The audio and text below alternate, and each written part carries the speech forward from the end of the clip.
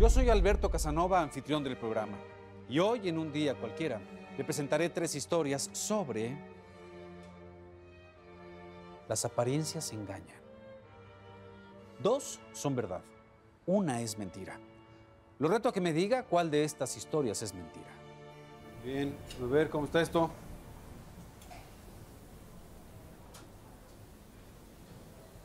Échale más sal.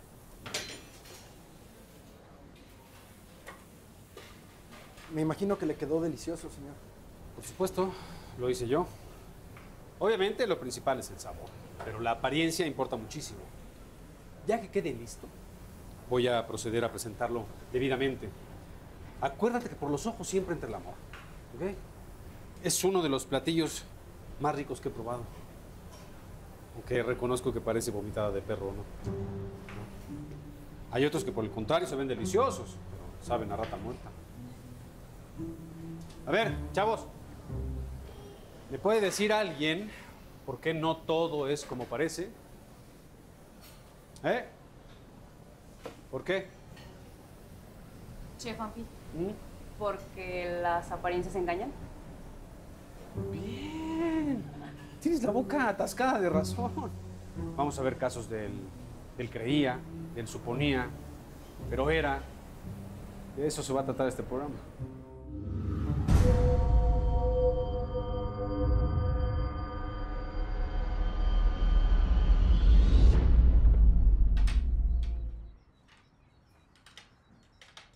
Ver, hijo.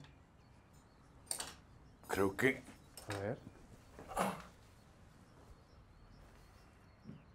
Perfectos, papá. ¿Sí? Sí. ¿No te? Recuperé la vista. Huele rico. Eh, sirve, por favor, Lena. Ya pueden pasar a sentarse. Gracias. A ver, no, no, no, no. Permítame, permítame, por favor. Usted siempre tan caballeroso, gracias. Hijo.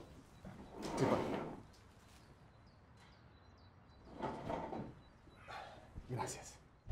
Me choca que juegues al hombre perfecto. No estoy jugando a nada. ¿Por qué siempre te molestas cuando tengo atenciones contigo? eh? Son otras las atenciones que me gustaría que tuvieras conmigo, Adolfo.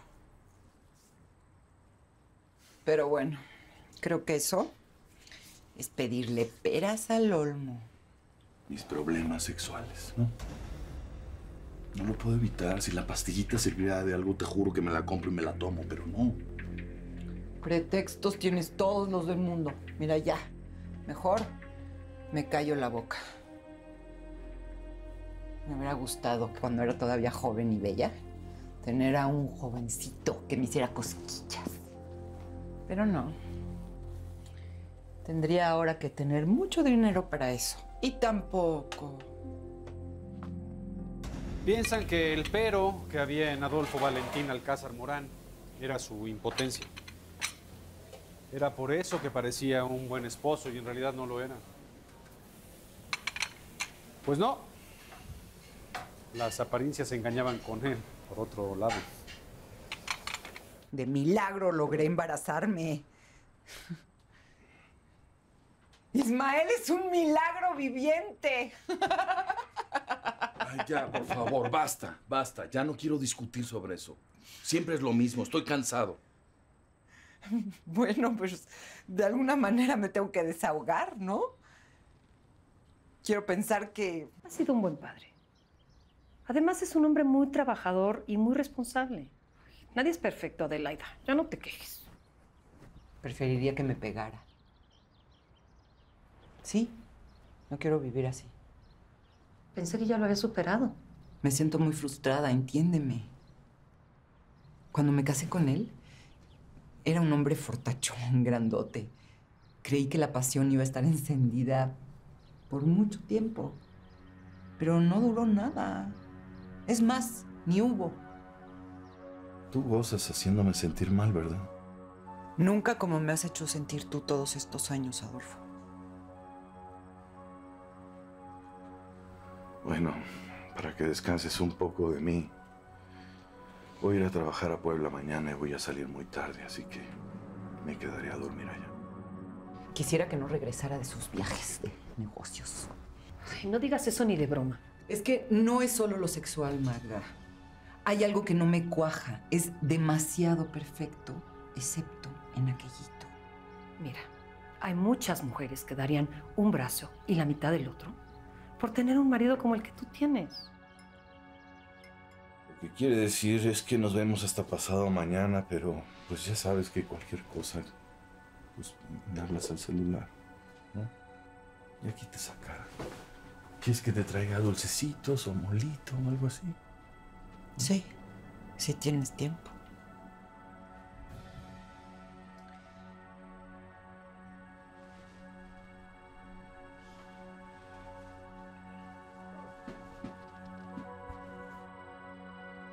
Adolfo era agente viajero y frecuentemente iba a distintas ciudades del país. Lo que Adelaida no se imaginaba era la doble vida que llevaba. Adolfo también tenía frustraciones sexuales. La diferencia es que él sí encontró la manera de remediarlas. Mientras que Adelaida pues no había tenido más remedio que tragárselas. Hola, ¿cómo estás? Bien.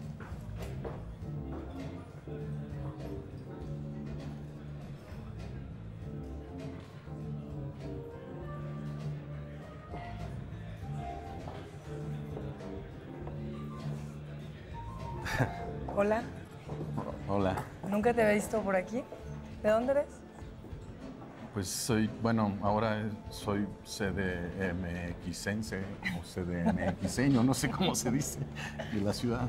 ¿Tú eres ¿De de aquí? aquí? Obvio, eres casado. Pues sí, hay problema. Claro que no, para nada. No soy discriminadora.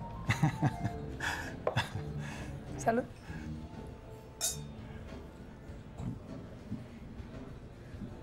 Vamos a un hotel. Claro, mi amor.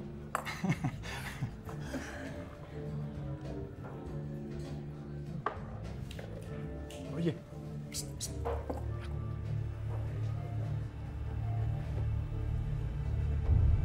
Los casados son mi especialidad.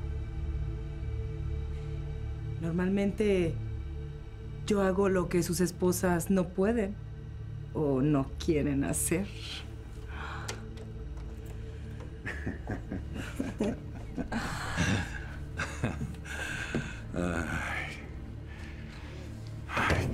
Qué bueno. Porque eso es exactamente lo que quiero. Hacerte todo lo que no le puedo hacer a mi esposa.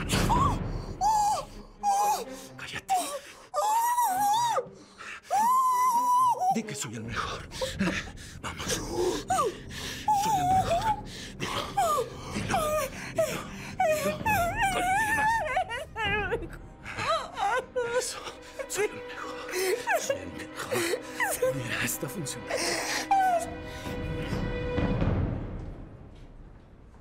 ¿Está bueno?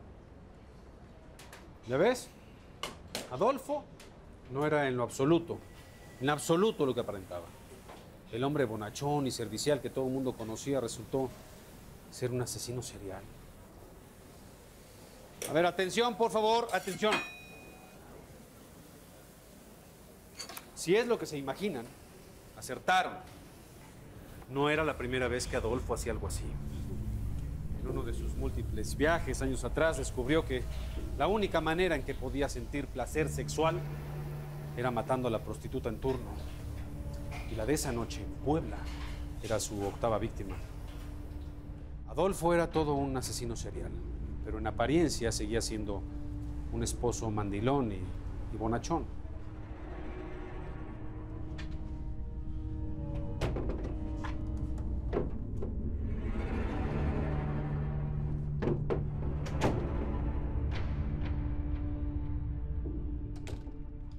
Hola. Hola. Hola, ¿cómo Mira. te fue? Traje dulcecitos. Gracias. Me fue, pues bien, normal. Ya sabes, lo de siempre. Este, voy a desempacar, ¿ok?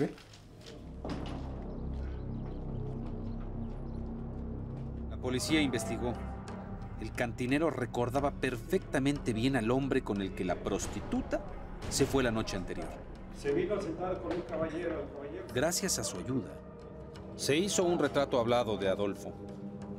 El comandante de la policía, usándolo, logró encontrar el hotel en el que se había hospedado Adolfo Valentín Alcázar Moral.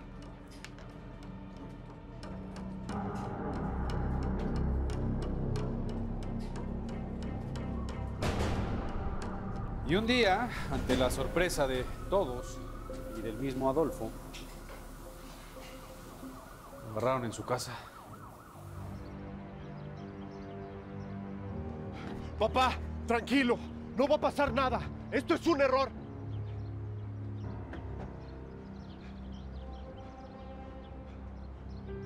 Esto es ridículo, mamá. ¿Cómo pueden acusar a mi papá de nada? Ve tú a saber qué pasaría. Tenemos que consultar a un abogado, ir a la delegación y ver cómo podemos ayudarlo. Cientos. ¿Qué digo cientos? Miles de criminales están libres y vienen y detienen a un hombre que no sería capaz de ni de matar una mosca, mamá. Mira, se me ocurre hablarle al licenciado Olmedo, no otra Sí. cosa. Y ahorita vengo, voy por mi bolsa. Vamos, vamos, vamos. La policía no tenía solamente el retrato hablado de Adolfo, tenía su ADN. No hubo necesidad de buscar mayor cosa, pues quedó en las uñas de la prostituta la noche en la que la asesinó. Es algo que está dentro de mí y. y comienza a crecer hasta. hasta ser más fuerte que yo. No lo entiendo. Yo. yo. soy una buena persona. Soy. soy un, buen padre, un, buen esposo. He sido un buen hijo. Me considero un- un buen ser humano, pero. Sé que esto está mal lo que hago, pero no lo puedo evitar. No lo puedo evitar.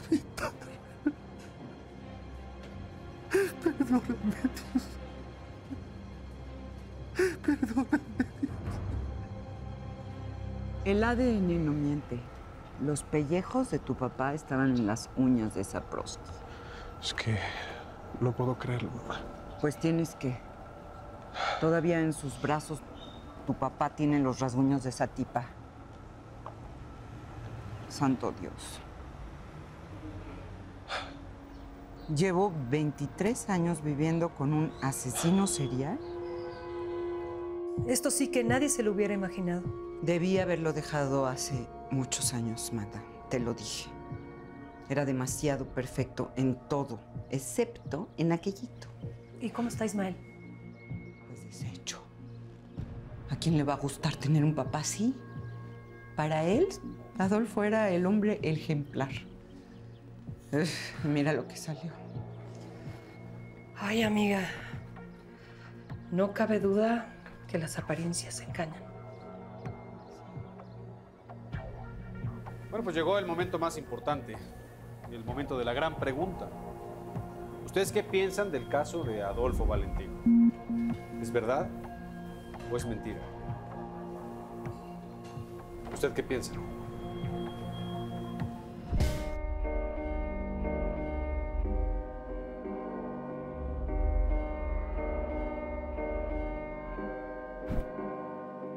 Ah, verdad o mentira, una delgada línea rarezas cotidianas permitidas Por esta ruleta rusa tan sucia llamada vida. La verdadera versión la esconde el más discreto Que sabe guardar secretos de aquel futuro obsoleto. Realidad es insensible, verdad invisible. Somos testigos mudos de lo impredecible. Se van y los días pasan volando Y un día cualquiera te enteras todo lo que está pasando De una cruda realidad a una dulce fantasía. Alguien dijo que no iba a pasar, pero sucedió algún día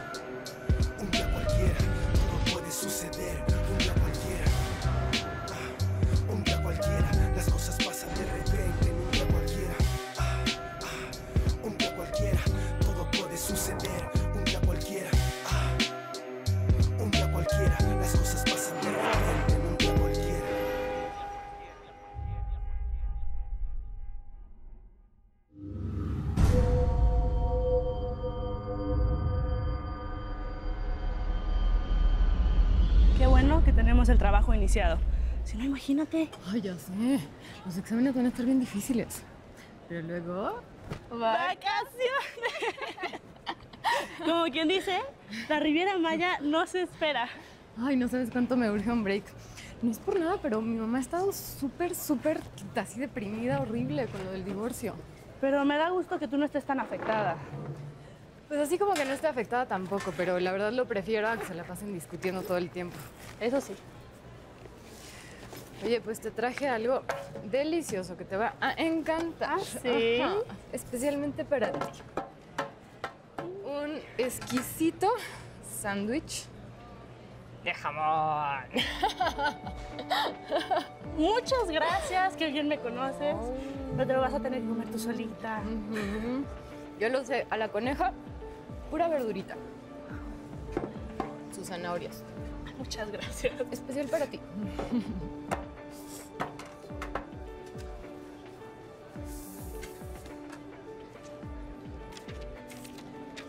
De verdad que te has convertido en la hermana que nunca tuve. Lo mismo digo yo. Eres mi mejor amiga, Roy. Deberías de venir a vivir conmigo. Mira, mi departamento tiene solo una recámara, pero fácilmente podríamos poner dos camas y no sé. ¿Hasta crees que mi mamá me va a dejar? Está súper deprimida estos días. Qué lástima. Porque yo me siento muy sola a veces. Pero no me puedo quejar. Yo decidí venirme sola desde Tlaxcala. Eso.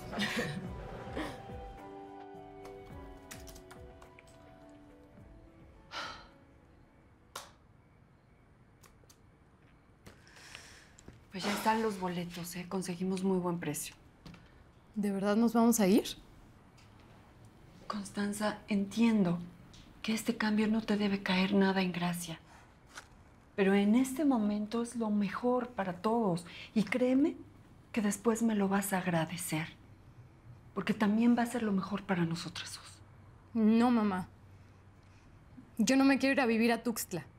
Tu abuela está enferma. Es lo correcto, Constanza. Y yo también necesito un cambio. Claro, siempre piensas en lo que tú quieres. ¿Y lo, y lo que yo quiero qué? Pues si ella quiere que ella se vaya. Tú te puedes quedar a vivir conmigo, ya te lo propuse. Ya sé, ya le dije. Pero me contestó que... Pero ¿cómo te voy a dejar sola aquí, viviendo con esa muchachita? ¿Qué tiene de malo, mamá? ¿Ro vive sola desde que empezó la universidad? Porque a sus papás les vale, perdóname. Pero son unos irresponsables. Digo, ¿cómo pueden permitir eso sin ninguna supervisión? ¿Por qué no le pides ayuda a tu papá? Mira, si tu mamá no quiere que vivas conmigo, te quedas con él. Ay, imagínate, cómo están las cosas, no van a querer. Tú no te puedes ir. Ay, Ro. Bueno, ¿y para cuándo tienen pensado mudarse? Pues ya están los boletos, Constanza. Nos vamos lo antes posible en cuanto termines el semestre. ¿Y mi viaje a la Riviera Maya? Pues vas a tener que cancelarlo. No manches. No nos puede hacer esto. Ya sé, ni me digas. Nada más de imaginarme allá, uy, me voy a volver loca. Eres mayor de edad. No te pueden obligar a nada. Yo sé, pero siempre se las arregla para manipularme y termino así, siempre haciendo lo que ella quiere. Me choca. No te dejes. Como si fuera tan fácil, Ro. Es que todos nuestros planes están viniendo abajo. ¿Por qué no me invitas a cenar? Yo la convenzo. No, de veras te pasas de optimista. O sea, se nota que no la conoces bien. Oye, ¿a qué hora vas a llegar? Tenemos que entregar el trabajo en 15 minutos. No te preocupes, no tardo. Apúrate. Bye.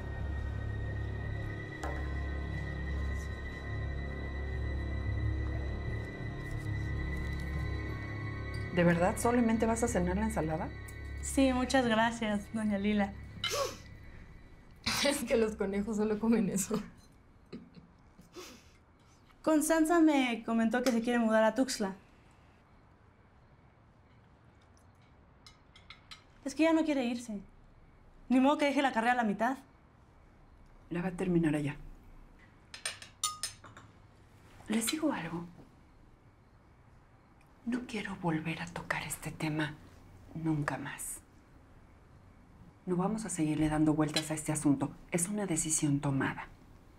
¿Está claro? A ver, arriba. ¿Se están imaginando lo peor? Pues qué bueno. Porque sí, Rosaura no estaba dispuesta a que la separaran de Constanza. Era, era su mejor amiga, era como su hermana. No me imaginaba sola en el DF. Ya me había acostumbrado a Constanza. Lo hacíamos todo juntas. Éramos uña y mugre. A mi familia siempre le valí gorro. No se molestaban en venirme a visitar o siquiera hablarme por teléfono. Con mandarme dinero era más que suficiente.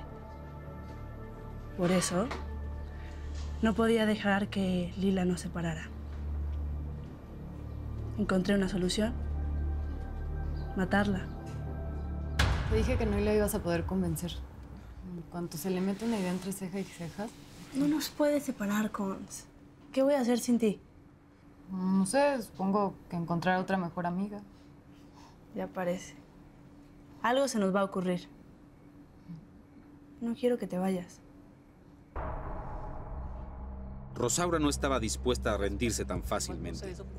puede. Como no pudo convencer de nada a Lila, la madre de Constanza, fue a hablar con Hernán, el papá de su amiga. Hola Rosaura, ¿qué tal? Hola. Qué sorpresa. ¿Qué te trae por aquí? Siéntate. Em, ay, muchas gracias. Vine a hablar de Constanza. ¿Qué tiene, Constanza? Está desesperada. ¿Por qué? De ninguna manera se quiere ir a vivir a Tuxtla con su mamá. Me imagino, pero esa es una decisión que toma su madre. Pero no puede obligarla. Si usted interviene, puede hacer algo. Puede... No, no puedo meterme en las decisiones de, de Lila. Lo siento mucho. Si acepté que mi hija se quedara a vivir con su madre es porque estoy viviendo en un hotel, Rosaura. No puedo hacerme cargo de Constanza. Se puede quedar a vivir conmigo. No hay problema. Así nos acompañamos y podemos repartir gastos. Agradezco mucho que quieras ayudar a mi hija, pero yo no puedo seguir teniendo problemas con Lila. Constanza es mayor de edad. Sí. Si ella decidiera quedarse aquí, ¿usted la apoyaría? Supongo que sí, pero esa es una decisión que debe tomar ella misma. ¿No crees? Sí. Muchas gracias por su tiempo. Hasta luego. Hasta luego.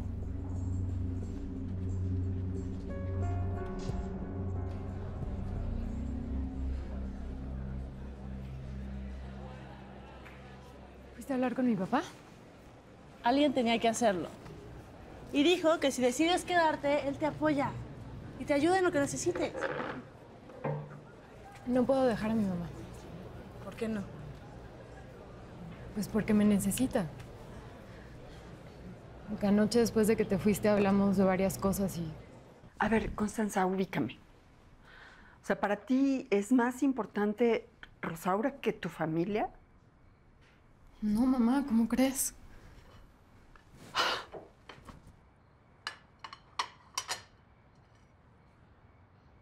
Estoy pasando el momento más difícil de mi vida. Y tú lo único que quieres es quedarte aquí para estar con ella en lugar de apoyarme.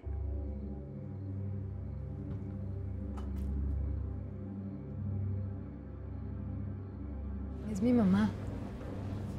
No la puedo abandonar cuando más me necesita. Te dejaste mangonear. No es eso. Con dos lagrimitas logró hacer, hacerte caer. Por favor, entiéndeme. Sí, te entiendo. Tu mami debe estar muy orgullosa de tener una hija como tú, que la apoye en una locura como esta. Ey. Vamos a poder seguir teniendo videochats diario. Vamos a seguir hablando de nuestras cosas, como siempre. Por supuesto. Y yo te voy a mandar muchas fotos de la Riviera Maya. Va a ser como si estuvieras allá conmigo. No iba a dejar que Lila me quitara la única persona que me peló en la vida. Constanza era mi mejor amiga. mi hermana, mi confidente, mi única compañía. Teniéndola a ella, no necesitaba de nadie más.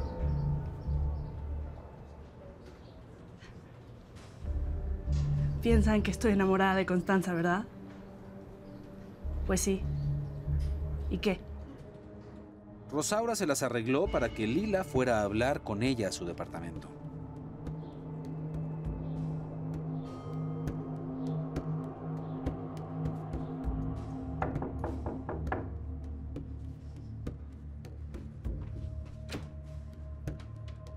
Lila, gracias por venir. Pasa, por favor.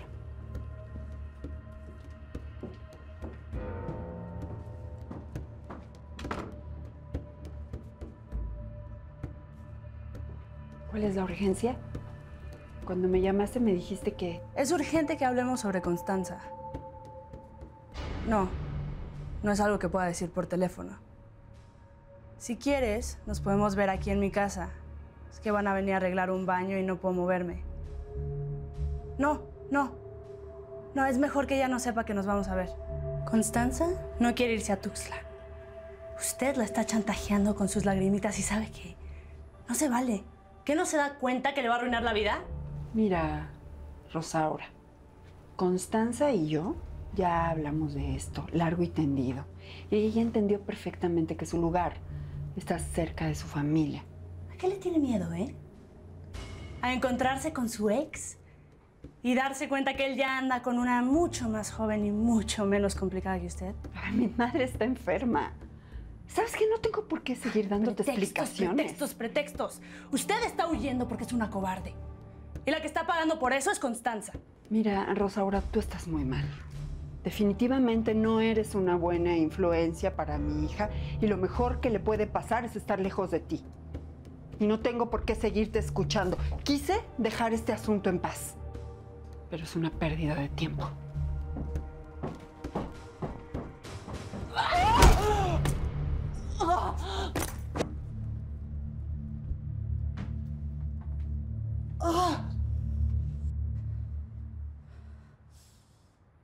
Rosaura mató a Lila, quien ya no tuvo tiempo de nada. Lo hizo con sangre fría. Fue a comprar un serrucho. La partió en pedazos. La cabeza la enterró a las afueras de la ciudad junto con algunas partes del cuerpo. Constanza estaba desolada por la desaparición de su madre. No podía entender lo que le había pasado. Te juro que no me importa irme a Tuxtla. Pero que aparezca, Ro. No tiene ningún sentido lo que está pasando. ¿A dónde pudo haber ido? No, no sé, no, no tengo idea, no se me ocurre. Ay, no, ¿y, si la secuestraron? Con todos los locos que hay ahorita en la ciudad. Constanza, tranquila.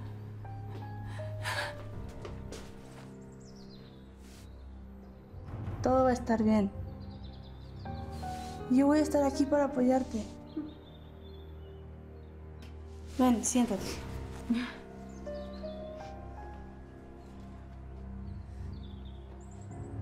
Todo va a estar bien.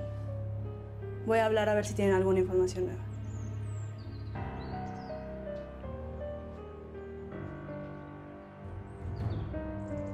Descubrieron que Lila, el día que desapareció, había hablado por teléfono varias veces con Rosaura. A Hernán le pareció sospechoso que no haya comentado nada con su hija. La policía fue a revisar el departamento de la muchacha y encontró partes del cuerpo de Lila en el congelador. Rosaura fue detenida. Los restos de Lila que aún conservaba no crean que los estaba guardando de recuerdo. Ella Me la comí. Bueno, solo partes. Tengo años de ser vegana, pero no me pude contener. Comérmela era una forma de decirle, te fregué. Constanza va a entender. Gracias a mí, ya no se tiene que ir a vivir a Tuxtla. Ella, e- ella me quiere. Y me va a perdonar. Pero Constanza no entendió nada y mucho menos la perdonó. No podía entender cómo era posible que una amiga excepcional como Rosaura, una muchacha con, con apariencia dulce e inocente, hubiera hecho algo así. Nuevamente queda demostrado que las apariencias engañan. Llegó el momento favorito. Vamos a probar mi receta favorita que siguieron al pie de la letra, ¿verdad? Vamos a probar esta ensalada como buenos veganos que somos. A la una, a las dos y a las tres. ¿Qué tal? Deliciosa. ¿Verdad que sí? El caso de Rosaura Santos, mejor conocida como la coneja caníbal, ¿es verdad o es mentira? ¿Usted qué piensa?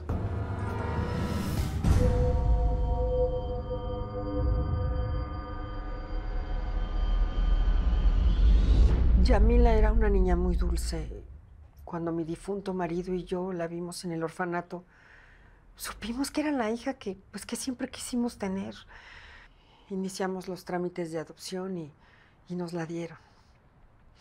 En todo momento fue amorosa conmigo y se desvivía por atenderme. Ay, gracias, hija. Pero no tienes que preocuparte por mí. Yo me puedo servir sola. ¿O qué? ¿Me ves muy inútil?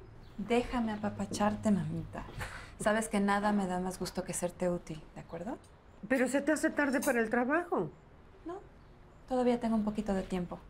Siempre pensamos que era una de esas personas, pues, pues que había nacido con mala suerte. En todo le iba mal. En su vida personal, por ejemplo, pues, siendo tan bonita, era increíble que los hombres le huyeran. Solamente tuvo un novio formal, Pepe.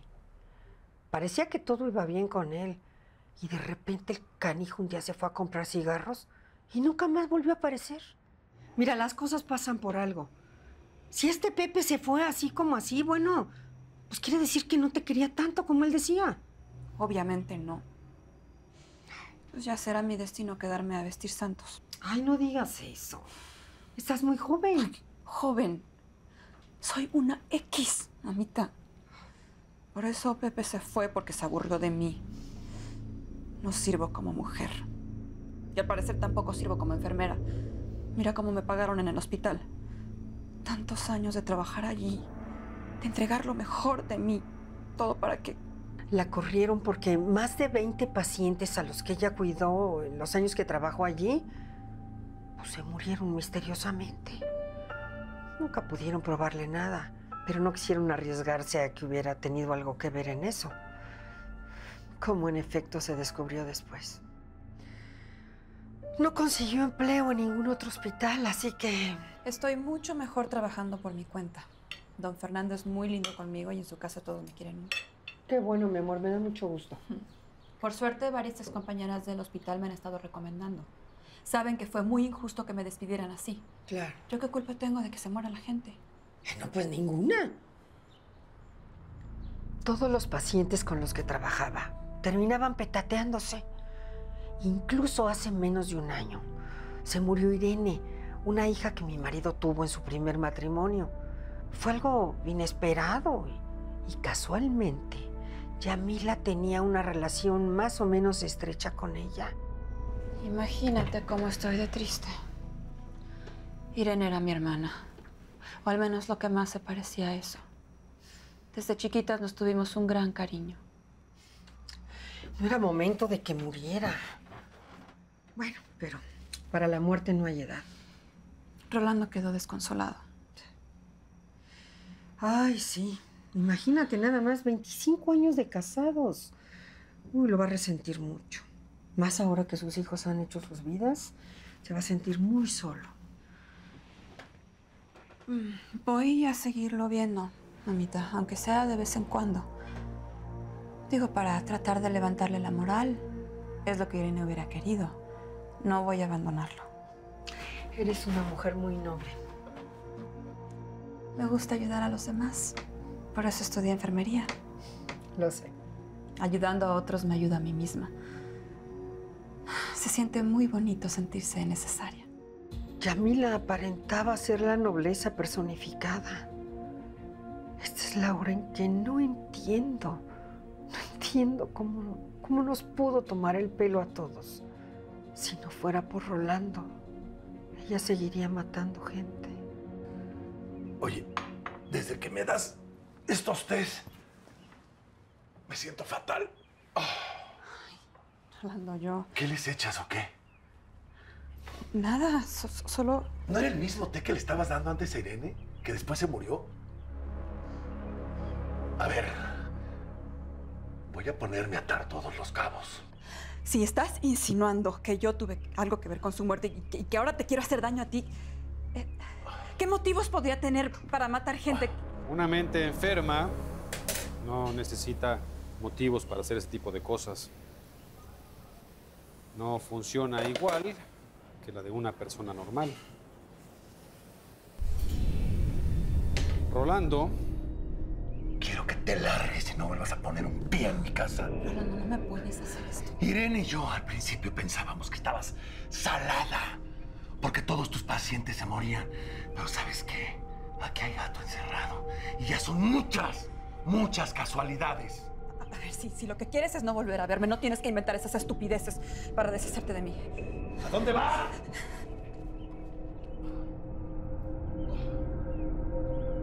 A mí nunca me confesó que era amante de Rolando. Al contrario, siempre dijo que lo veía como un hermano y que estaba muy ofendida porque él trató de propasarse con ella.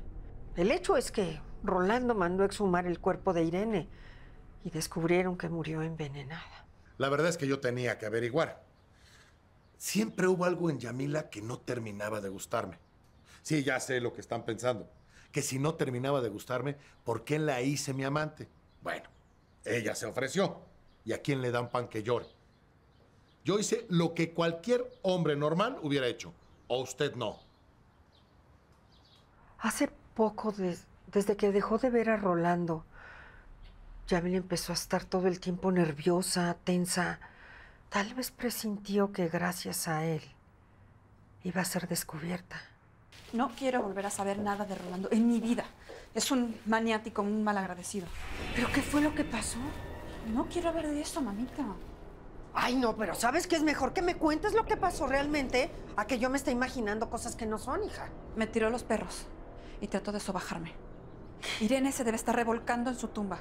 Mira qué manera de Rolando de, de respetar su memoria. La detuvieron y luego creo que entendió que ya no tenía caso negar nada. Si hubieran exhumado los cuerpos de sus otras víctimas, júrelo que en algunos hubieran encontrado rastros del mismo veneno. No cabe duda que las apariencias engañan. Yamila parecía ser una mujer normal y resultó estar loca. Matarlos me parecía divertido. Me producía un placer que no no puedo describir. Nunca pude destacar en nada. Así que mandar al otro mundo a otros era mi oportunidad de sobresalir. Quería ser la que más gente matara en la historia del mundo. Lamentablemente eso no pudo ser. Todo por culpa de Rolando. Debí haberme deshecho de él desde mucho antes. Algún día, en el infierno, me voy a encontrar con todos mis muertitos. 28, para ser exactos. Voy a estar preparada para enfrentarlos. De seguro me van a querer amolar. Montoneros. ¿Qué le parecieron estas tres historias? ¿Verdad o mentira? Hacerte todo lo que no hacer a mi esposa. Pero es una pérdida de tiempo. Quería ser la que más gente matara en la historia del mundo. Queda poco tiempo. El reto es que me diga qué historia es mentira. El caso de Rosaura Santos Arismendi, mejor conocida como la coneja caníbal, real.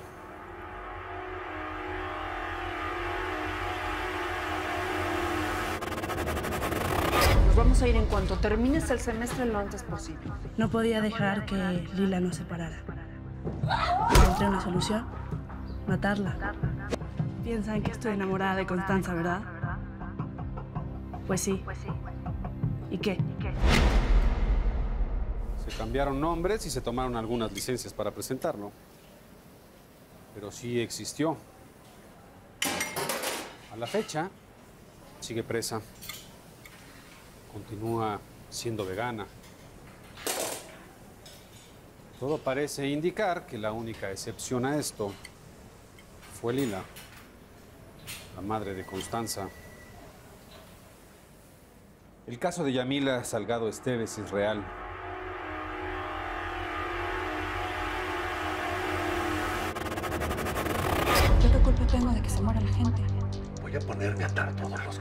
¿Qué motivos podría tener para matar gente?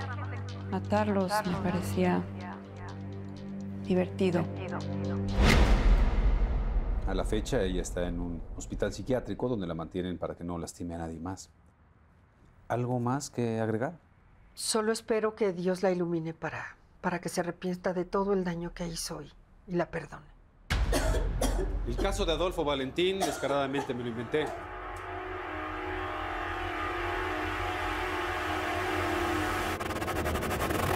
Hay algo que no me cuaja. Es demasiado perfecto, excepto en aquellito. Eso es exactamente lo que quiero. Hacerte todo lo que no le puedo hacer a mi esposa. Llevo 23 años viviendo con un asesino serial. Pero una historia similar podría ocurrir un día cualquiera. Ya está haciendo efecto el venenito, ¿verdad? Si los casos que vimos no fueron suficientes para entender que las apariencias engañan, mírenme a mí. La realidad es que yo no soy chef. Soy un asesino serial. Y para acabarla de amolar, soy un caníbal. Hoy mismo todos ustedes van a terminar adobados, listos para un buen festín.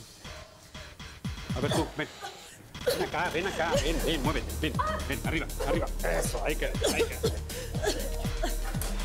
Ok. Personas ordinarias a las que les suceden cosas extraordinarias.